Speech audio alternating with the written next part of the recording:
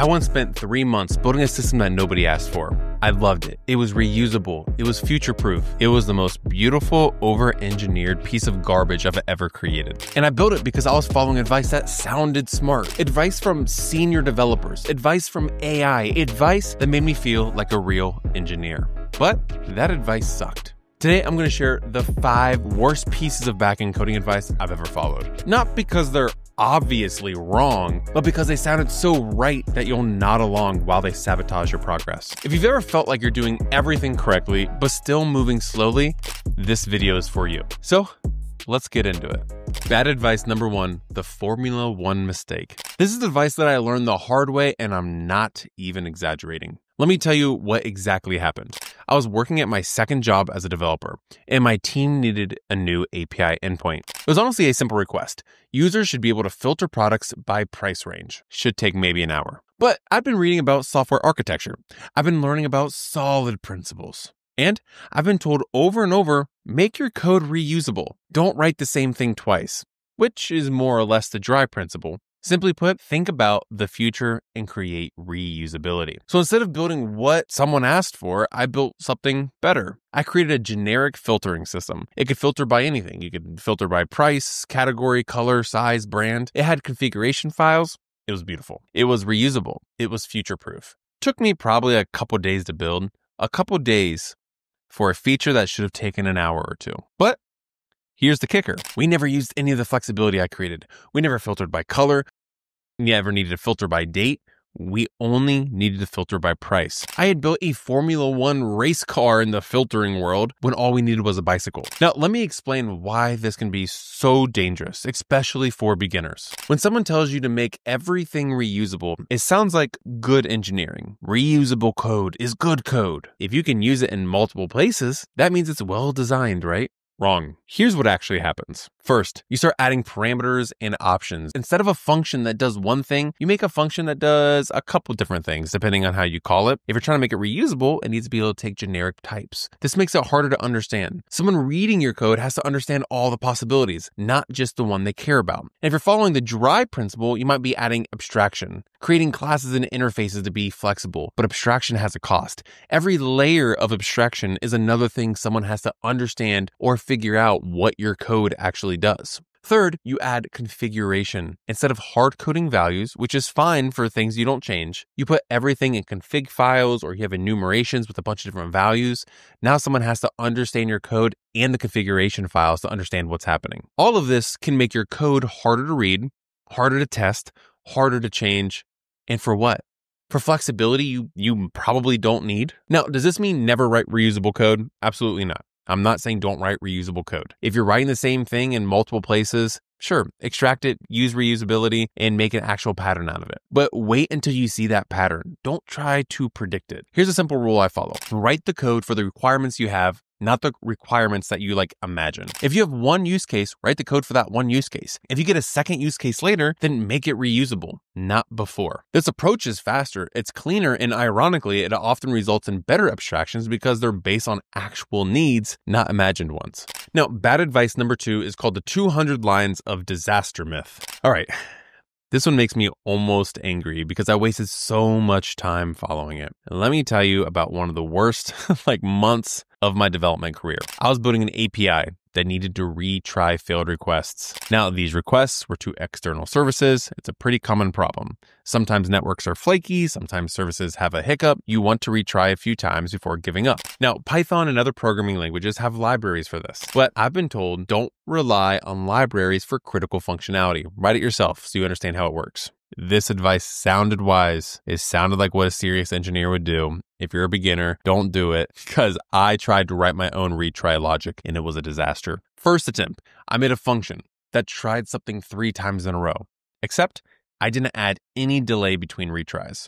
So, so if a service was overloaded, I was just hammering it three times in a row immediately. That made things worse not better. Second attempt, I added delays, but I made them fixed, always waiting one second between the retries. Except that's not how you should do it. You should use exponential backoffs. Wait one second, then two, then four. I didn't know this at the time. Third attempt, I added exponential backoff, but I didn't add jitter, random variations in delay. Without jitter, if multiple requests fail at the same time, they all retry at the same time, creating a thundering herd problem. I didn't know about this either. Fourth attempt, I added jitter, but I realized I needed to handle different types of errors differently. Some errors you should retry, like network timeouts. Some you shouldn't, like unauthorized errors. So I added error handling logic. My new retry logic is now probably 200 lines of code that has bugs and missing features that the library had built in. The library would have done all of this correctly. I could have imported it and used it probably within five minutes. I had wasted time trying to reinvent a wheel that already existed, and my version was significant significantly worse. Now, let me explain why this advice is harmful, especially for beginners, unless you want to try and improve and learn. The advice usually goes like you should understand all of your dependencies. Don't just import random libraries because I have like supply chain vulnerabilities. You need to know what they do, build it yourself so you really learn it. Sounds reasonable. You should understand your tools, you should understand your dependencies. But here is the problem with that there's a difference between understanding what a library does and is it safe to use and understanding how to implement it yourself. I can understand what a retry library does. It retries failed operations with configuration strategies. That's what I need to know to use it effectively. I don't need to understand all the edge cases, all the gotchas, all the subtle bugs that took years to discover and fix. And I sure as heck don't need to try and create that myself. Python's ecosystem, for one example, is one of the biggest strengths of using Python. There are libraries for almost everything, and these libraries are usually better than what you would write yourself, or at least within the time constraint that you've given yourself. And that's because a lot of these really popular libraries have been tested by users, debugged over years, optimized for performance, maintained by people who specialize in the problem. Now, does that mean you should just randomly import libraries for everything? No. You should be thoughtful about the dependencies because you don't want a ton of dependencies in your application. But the bar isn't never use libraries. The bar is use well maintained popular libraries for solving specific problems. Here's how I think about it. If it's a solved problem like retries or validation, date handling, HTTP requests, use a library or framework. Don't reinvent the wheel. The library will be better than your first attempt, and your time is better spent on the problems that are unique to your application. If it's a core business logic, the stuff that makes your application different from all the other applications, write it yourself. This is where you add value. This is where you should spend your time. This is where you can't use a library because the problem is specific to you. Now, one more thing about this advice people will say, but what if the library has a bug? What if the library is not well maintained anymore?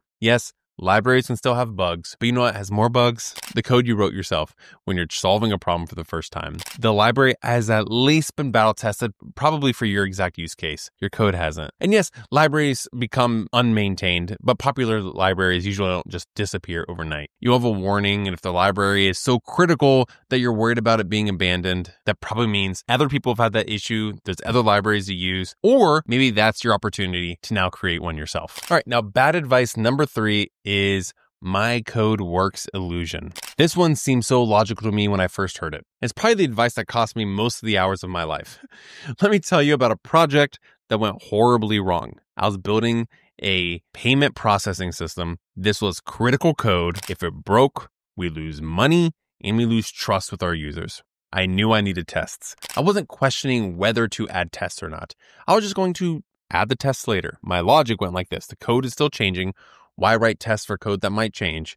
I'll get the code working first and then I'll add tests to lock it in at the end. So I spent some time building the payment logic, creating orders, processing payments, handling refunds, dealing with edge cases, and it worked. I tested it manually. Everything looked good. Now it was time to write tests. And that's when I discovered huge problems. My code was untestable. Now I was using Stripe endpoints and everything, but it was untestable because my payment processing function did everything. It talked directly to the database. It called the payment API. It sent emails. It logged things all in like, it wasn't just one giant function. It was like three or four big functions. So to test this function, I would need to, you know, set up like a mock database, you know, mock the payments and API, mock the email service, mock the logging system. And even then, I couldn't easily test the individual pieces. The function was like one big blob of logic. To test the refund logic, I had to set up everything too. So what did I do? Well, there's two options. You can just push the PR with no tests, or you break the whole thing up into smaller pieces, separating concerns, making things testable. I was now, you know, quote unquote, changing working code, code that I've already tested manually. And guess what happened when I refactored that thing? I broke things multiple times. Changes that I thought were safe weren't, and the manual testing just didn't cover everything. By the end, I spent another probably like week refactoring and fixing bugs, a week that could have been avoided if I written tests from the start. So let me explain why wait until the code is done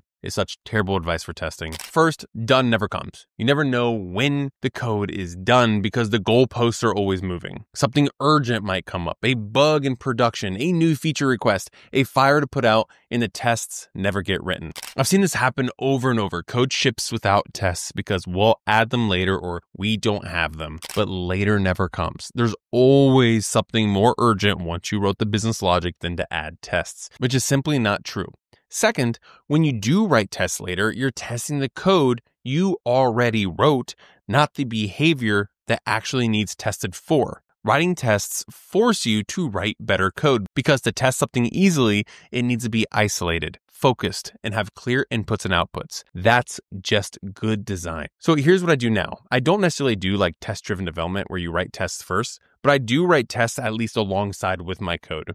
So, like, my process typically is like I write a function, then I immediately write a test for it, then I move to the next function, write a test for that, code test, code test. They grow together. But each time I'm doing a test, I'm testing the behavior of the function, not necessarily the code of the function test driven development's good first, but the benefits of what I do is first, it's it's faster. When I write a test right after writing the function, everything is fresh in my mind. I know what it should do. I know the edge cases. I know the behavior, and writing the test is fairly quick. Compare that to coming back, you know, after you spent some days doing something else and trying to come back and write tests for your your already complete entire feature. It's just so much harder. It's such like a brain shift to now write tests for something that you think already works. Second, it gives me confidence to change things. Let's say I write a test function and test it. Then later I realize there's a better way to implement something. With tests, I can refactor confidently. I make the changes, run the tests, and they pass. I know I didn't break anything. And if I need to change something in the code which changes my test, I then have to change the tests along with it. And this is great to do along with AI. You can break up long requests into more modular requests where you are creating tests along the functional code. Just always know that tests are an investment. They cost a little bit of time up front, but they save so much time in the long run when trying to add new features. Don't write tests after the code is done. The code is never done. Tests don't slow you down. Ultimately, they speed you up. Now, bad advice number four is one line wonders. Man, this got me good. This advice I mean, I messed up big time and it's embarrassing to admit. I was proud of some code that I shipped before. Um, I'll tell you about it. I was writing a function and I thought it was absolutely brilliant. I was working with uh, data processing, taking some raw data, transforming it, you know, filtering it, aggregating it, pretty standard stuff. But I've been learning about Python's advanced features at the time. So I was learning about like list comprehensions, Lambda functions, functional programming patterns, you know, all the cool stuff that makes you sound smart. And I wanted to show off how much, you know, I knew. So I wrote a function that did everything in one line. It used a nested list comprehensions, it used a Lambda functions, and a bunch of other clever tricks to transform the data exactly how we needed. It was one line, one beautiful line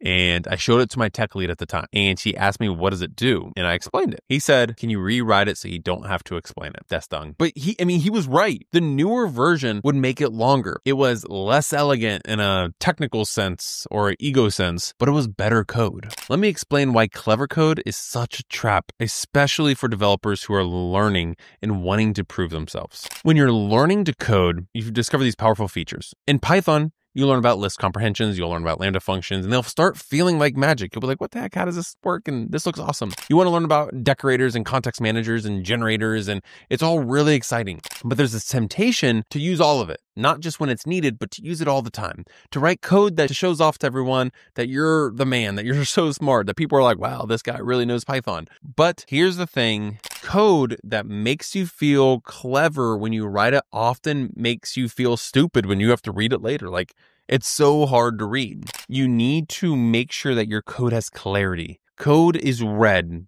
significantly more than it's written. I mean, think about it. You write a function once, but that function might be read hundreds of times. It might be reread again by you. It might be reread by a, a, a coworker. It might be in a bug. It might be read by your teammates, you know, later down the line who aren't even coworkers right now. you need to make sure that your code is clear. Now, with that though, let me be like crystal clear. I'm not saying you should never use these advanced features. I'm just saying the PR with your name on it needs to be clear code, which is almost always better than these one liners, unless these one liners are normal and common within your group. Now, bad advice number five, I'm calling the 10,001 query problem. This last one is tricky because there's some truth to it, but I took it too far and it cost me. And let me tell you about the time I brought down a production system. I was building a dashboard that showed user activity. Nothing crazy complicated, just displayed how many times each user logged in, what features they used, that kind of thing. I wrote the code and it all worked great. We had about a 100 users at the time and the dashboard loaded instantly. I'd heard about like don't pre-optimize and premature and like don't over-engineer so many times so I didn't think about performance. It worked. It worked fine. I was like, heck yeah, we're good to go. We launched. The dashboard was great. Everyone was happy. This is for an internal application where there's other people using it. That company's department grew from 100 users to 1,000 to 5,000. And I'm not sure if it actually hit 10,000, but it was like on its way to 10,000. And one day, someone tried to load the dashboard and it took 45 seconds. Then it timed out then our entire database slowed down because my query was so inefficient that it locked the tables. I had written a query that got all the users, then for each user made another query to count their logins. If you don't know what that means, that's called the N plus one problem. For 100 users, 101 queries. For 10,000 users, 10,001 queries. That's a disaster. The fix was simple. You just had to use a join and maybe add some pagination if you needed to. But that wasn't before prod went down all because I didn't think about performance until I had the problem. I was trying not to over engineer. Now, again, to be clear, I'm not saying you should never obsess over performance because usually when you try and do premature optimizations or over engineer, it can be dangerous. You spend weeks working on things that don't actually matter, but you don't want to shoot yourself in the foot. There's a difference between premature optimization and completely ignoring performance issues.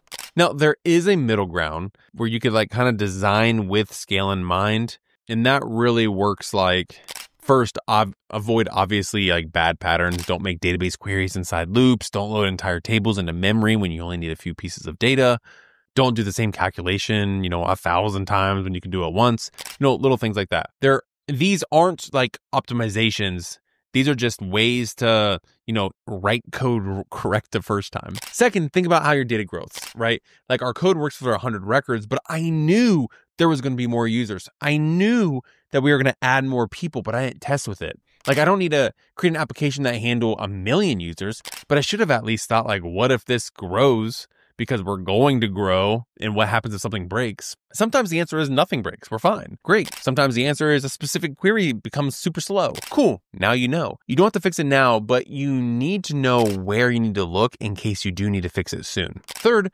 measure what matters right? So like you don't need to optimize everything, but you should know which parts of your code is slower than other parts. So you know, like, hey, this could slow down. This external service can slow down. Um, a simple logging to track how long database queries can help. You know, how long APIs take can help. Just basic measurements. This way, when something is slow, you know where to look. And then fourth, just try and use obvious, you know, optimizations when they're free. Caching is a great example. If you set like a good TTL and you know how to and know how you're going to use it. When you're doing an expensive calculation that doesn't change often, just cache it. This isn't a premature optimization. This is just backend 101. so, like, here's my rule of thumb you don't need to optimize for a million users right now, but you should avoid patterns that may break um, based on the number of users you need right now. All right, I hope you were able to learn something, and I'll see you in the next video.